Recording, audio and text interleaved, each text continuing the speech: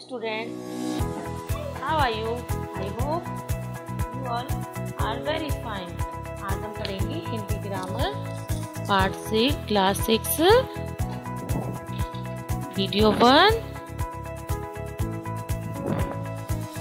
part एक भाषा, लिपि और व्याकरण भाषा भाषा मीन्स इंग्लिश नेम लैंग्वेज एक बहुत छोटा बच्चा कुछ ध्वनियों के द्वारा अपनी बात समझाने का प्रयास करता है।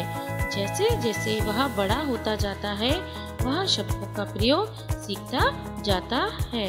और फिर धीरे धीरे घर, परिवार और आस पड़ोस से वाक्यों का प्रयोग भी सीख जाता है। आपने देखा होगा जब बच्चा बहुत छोटा होता है तो वो अपनी भाषा में बात करता है ना?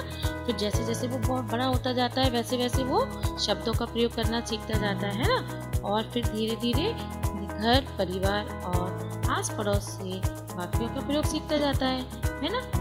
ऐसे ही एक ईशान की नानी माँ है, उन्होंने उसे किसकी महाभारत की क्या सुनाई? एक कहानी पढ़कर सुनाई। फिर उन्होंने ईशान से कहा, इस कहानी को अपने मित्र को लिखकर भेजो। इन वाक्यों से पता चलता है कि मनुष्य दूसरे के विचारों को सुनकर या पढ़कर जानता है और अपने विचारों को बोलकर या लिखकर दूसरों तक पहुंचाता है। विचारों की इस आदान प्रदान के लिए भाषा की आवश्यकता होती है। हम अपनी जो भाषा लैंग्वेज यूज़ करते हैं, जो हम अपनी भाषा बोलते हैं तो हम जो भाषा बोल रहे हैं, हमें ऐसी भाषा का प्रयोग करना पड़ता है, जो सामने वाले को भी समझ में आए, जिस हम अपने विचारों को उसको भी समझा सके और उसकी उसकी भाषा को भी हम समझ सके। इसलिए भाषा क्या है? भाषा वह साधन है। भाषा वह साधन है जिसके द्वारा हम अपने विचार दूसरे के सामने बोलकर या लिखकर प्रकट करते हैं।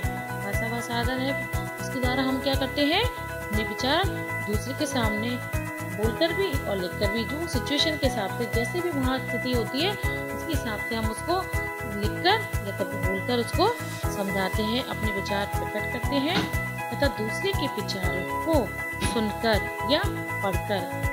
दूसरे, दूसरा हमको जैसे विचार बोल रहा है, हमें सुन के समझा रहा है, या हमें लिखकर भेज रहा है तो हम उस चीज़ को पढ़कर समझ रहे हैं। तो भाषा क्या है?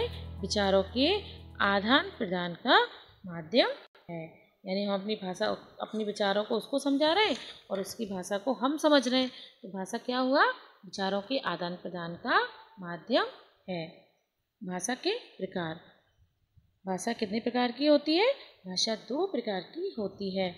मौखिक भाषा, नंबर टू, लिखित भाषा। नंबर एक, मौखिक भाषा क्या होती है? भाषा का बोलचाल का रूप, जो हम मुँह से बोलते हैं। मौखिक भाषा मीन्स मुँह से बोलना, बोलकर दूसरों को अपनी बात समझाना। उसको हम बोलते हैं मौखिक भाषा, यानी कि बोलकर अपने भाव प्रकट करना और सुनकर दूसरे की बात को जानना। सामने वाला हमसे क्या कह रहा है? उसकी बात को समझना और उसके बारे में जानना।